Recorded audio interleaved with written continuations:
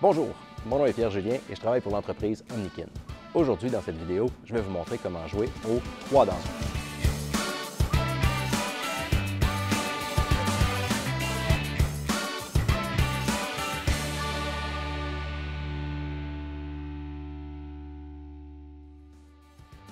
Le 3 dans 1, c'est trois jeux à l'intérieur d'une seule activité. L'objectif de ces trois jeux est de coopérer dans le but de gagner du temps, de toucher quelqu'un ou d'empêcher le ballon de se faire toucher par quelqu'un. Pour y jouer, vous aurez besoin simplement d'un gros ballon Omnikin. On parle ici d'un ballon de plus de 33 pouces. Pour ce qui est de l'espace, un demi-gymnase suffira amplement. Vous pourrez jouer à l'extérieur ou à l'intérieur, dans la cour d'école ou sur un terrain de soccer, avec des groupes pouvant aller jusqu'à plus de 30 jeunes. Au niveau de l'âge des participants, on recommande de commencer à partir de l'âge de 4 ans, même si certains jeux pourraient prendre un petit peu plus de temps à être compris par nos tout petits. Alors, ce qu'on va faire dans ce jeu-là, on va placer deux cercles concentriques et on va simplement faire circuler le ballon à l'intérieur des deux. Pour faire le jeu, placez d'abord vos participants dans un très grand cercle. Ces participants devront regarder vers l'intérieur du cercle. Par la suite, prenez quelques-uns de ces participants et placez-les dans un cercle plus petit à l'intérieur du grand cercle. Les participants qui sont dans le petit cercle devront regarder vers l'extérieur. C'est donc dire qu'on se retrouve avec un espace entre les deux cercles. Cet espace doit être suffisant pour qu'un ballon puisse y circuler. Dans ce jeu, on utilise seulement les mains. Lorsqu'on commencera à jouer, on commencera avec le jeu qui s'appelle Démarrer les moteurs.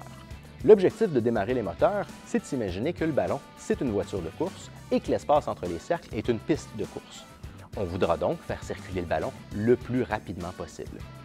Il est évident que lors des premiers tours de piste, le ballon ne circulera pas nécessairement très rapidement. Enseignez donc aux participants à être patients, à attendre que le ballon arrive devant eux avant de le pousser vers le côté. S'ils essaient de tout faire le travail eux-mêmes en allant le chercher très loin sur un côté et en le repoussant par la suite de l'autre, jamais le groupe n'arrivera à atteindre l'objectif. Donnez-leur un objectif, par exemple, de compléter 5 tours en moins de 25 secondes. Faites changer la direction également pour qu'ils utilisent à la fois leur main droite et leur main gauche. En gardant le même positionnement de groupe, demandez maintenant à un volontaire de devenir le chasseur de planètes.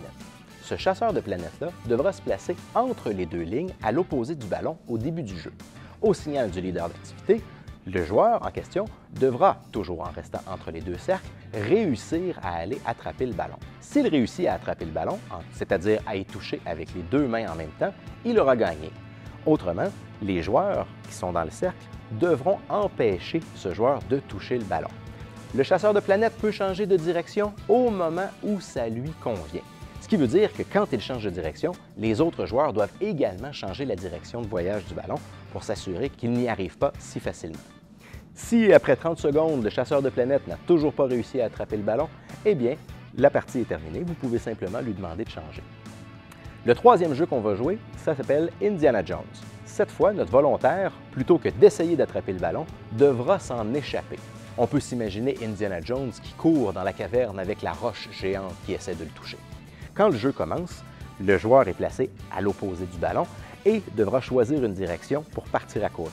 L'objectif des autres participants est de faire tourner le ballon plus vite que le joueur n'est capable de courir.